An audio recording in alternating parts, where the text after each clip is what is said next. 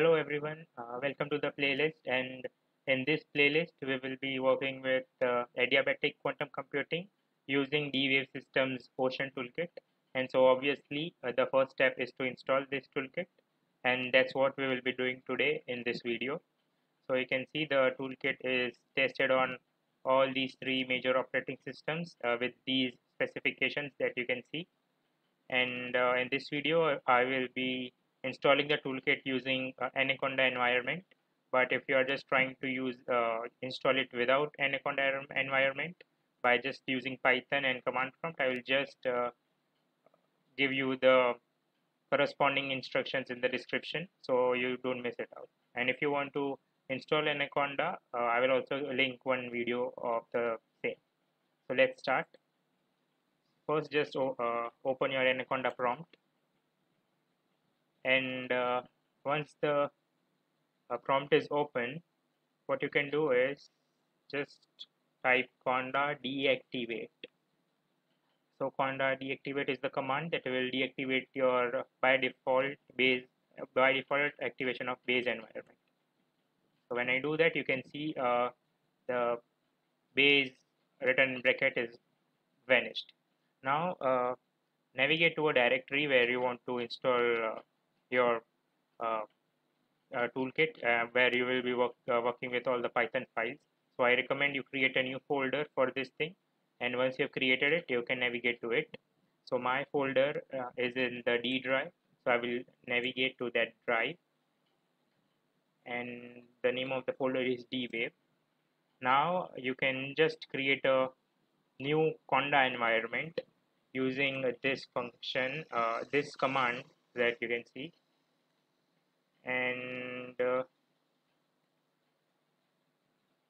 I recommend using Python 3.8 version because more advanced version may cause issues because uh, I have been using IBM Qiskit and there are possibilities of such issues. So it's better to work with the version that has been around since some time.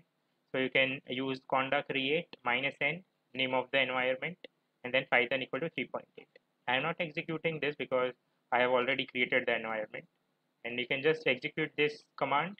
It will ask you some permissions to install some uh, stuff and you can just enter y and it will create uh, the environment for you. And once that is done what you can do is uh, conda activate uh, whatever uh, your name is that you have chosen for the environment. For uh, me uh, the name was dwave and once I hit enter now you can see uh, the dwave is activated. You can see it in the brackets here.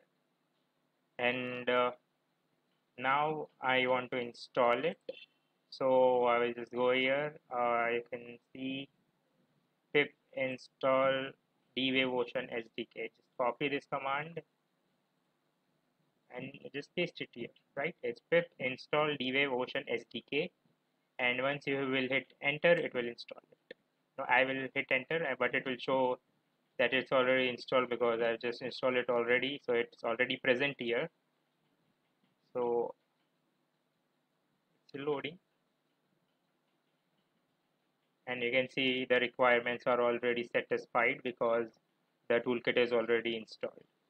And once this is done you can just deactivate it just close this. And uh, yeah, you have, if there are no errors uh, I don't think there should be any errors. It's a straightforward procedure. And I think uh, now it's time to see if you have actually successfully uh, installed the ocean toolkit. Let's do that. So once you are done with the installation open the folder that you created using any of the editor. I have used here VS Code. And uh, now uh, you just create a Python file. So test.py you can see uh, the file is created and it's uh, loading the extensions. I just look at the bottom here. And uh, it's just trying to discover the interpreters. And uh, it will take some time we have to uh, wait a little for it. And you can see here uh, at the bottom if I click there are all these various virtual environments out of which uh, you should uh, check this one out D-Wave right? Because that's where what we have uh, that's where we have installed the toolkit. So from here you will be able to you can see dwave conda environment. And you will just select it. So make sure you select the environment carefully.